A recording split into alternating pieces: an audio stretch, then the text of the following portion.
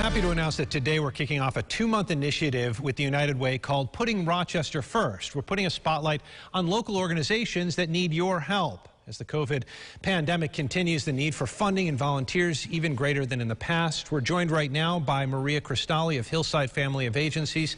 Thank you so much for joining us.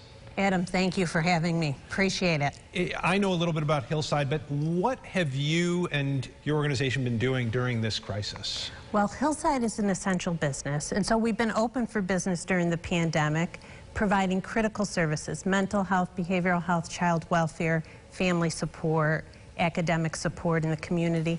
We haven't skipped a beat. We have five residential campuses that have been open, 10 group homes in central and western New York, open for business 24-7 during the pandemic, having more than 300 children living at, with us at one time. For uh, community-based services, we transitioned about 900 staff to remote work in a two-day period. Amazing. Going from one telehealth session per day in January to close to 400 sessions in June. That's approximately 14,000 sessions in a month where we are delivering, thanks to our state partners in relaxation of telehealth regulations, we're delivering uh, clinical, family support, and skill building services to families right in their homes. It's truly incredible. Uh, the point of doing this is folks out there can help you after you and your folks have been helping so many others. So how can they do that? They can do that by, we've had wonderful volunteers in the community making masks.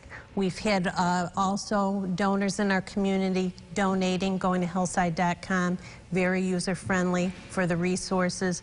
Organizations like us, we weren't planning on PPE. We weren't planning on additional technology to assist with remote learning and clinical services. So please go to our website and, and help and donate to our cause. We really would appreciate the community support, and we've had a number of uh, supporters in our community supporting that work. Maria, thank you so much. Hillside doing tremendous work out there, so thank you for that as well. Thank you.